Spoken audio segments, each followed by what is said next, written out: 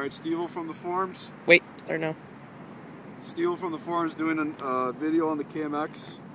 Uh, we're using 10 amp hour, 36S uh, Turnigy, so it's about 150 volts. Uh, using a DIY controller that I did. So, okay, hold on.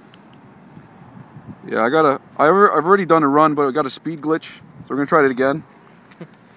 uh, it's using a 12 MOSFET Infineon board that's retrofitted to the IRFP uh, 4568 MOSFETs in that very big case. and uh, the current, I mean, the shunt on the on the the Infineon board, the 12 FET board, should be 50 amps, but could be something to do with the voltage. But I think it's going over 50 amps. It's maybe close to 100. So uh, I don't know why, but maybe someone could explain it. Uh, but other than that, we're gonna do a run right now and see what we can do. Okay, guys, go.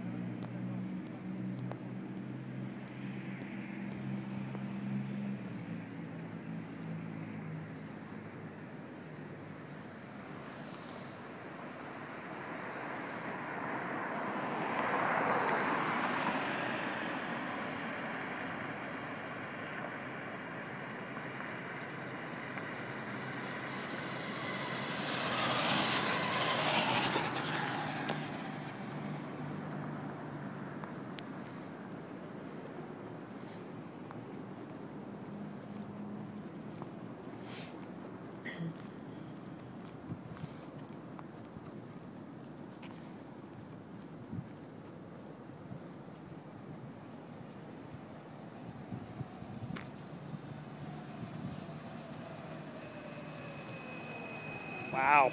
Oh, we're gonna see. we're gonna see how fast we did. I, am hoping I don't get a Cycle Analyst glitch again. Okay, it's 53 miles an hour.